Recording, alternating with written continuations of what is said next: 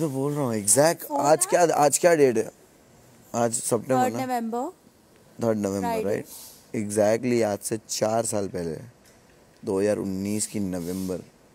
मैं अभी इस वक्त पता है क्या कर रहा था? ऑफ़िस का काम ख़त्म करके ग्रैंड रोड स्टेशन भागते हुए जा रहा था। और आज दिन कौन सा है भाई?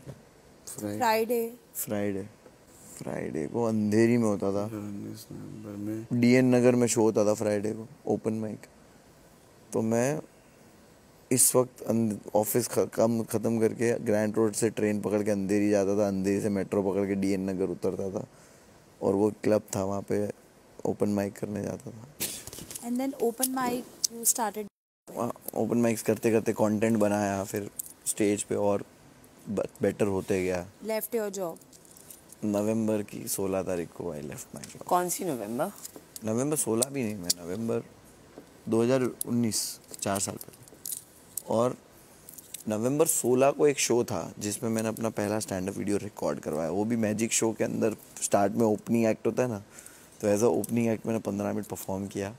और वो एज अ एडिट करके वीडियो स्टैंड अप कॉमेडी का 2020 जनवरी 25 को पहली बार अपना चैनल स्टार्ट किया और पहला वो वीडियो डाला। और उसमें एक सैनिटरी पैड वाला जोक था वो इतना वायरल हुआ क्या बात कर रहे हो? पहला ही वीडियो वायरल हो गया। पहला ही वीडियो